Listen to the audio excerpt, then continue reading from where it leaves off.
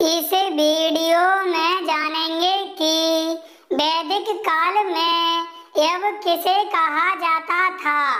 तो इसका सही जवाब है जो वैदिक काल में जो को यव कहा जाता था।